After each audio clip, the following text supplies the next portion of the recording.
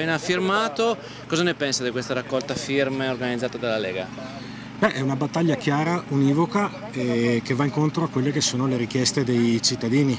Sostanzialmente tutela i nostri diritti e anche nel modo più elementare perché stiamo subendo una spoliazione vera e propria che non ha precedenti nella storia. Ce n'è uno in particolare che l'ha spinta a venire qui, un tema, un argomento di referendum? Ma eh, si può fare, ognuno ha le sue classifiche. Eh, sinceramente anche guardandoli, se, posso, se possono commentare così, la riforma Fornero al momento non mi riguarda avendo 42 anni, quindi la legge Merlin trovo che sia giusto che persone che guadagnano molto paghino le tasse come noi lavoratori normali, non è che voglio penalizzare nessuno, però normali.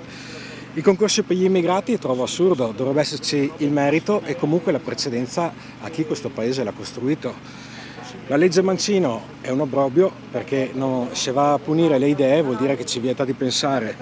Le prefetture sono mh, il controllo del partito romano centrico sul territorio, quindi eh, come si fa a scegliere? Sono tutti perfetti.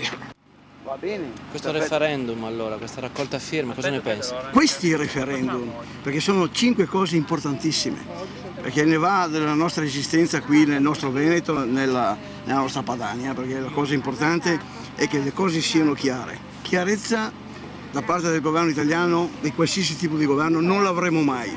O ci organizziamo da soli, altrimenti veramente abbiamo per noi e per chi verrà dopo di noi la cosa finita assolutamente. Quindi queste sono importanti, però forse la madre di tutti i referendum è quella dell'indipendenza allora. Ma io ho già firmato per l'indipendenza, ma non per l'autonomismo, per l'indipendenza del Veneto, perché lo Stato veneto deve ritornare a essere padrone.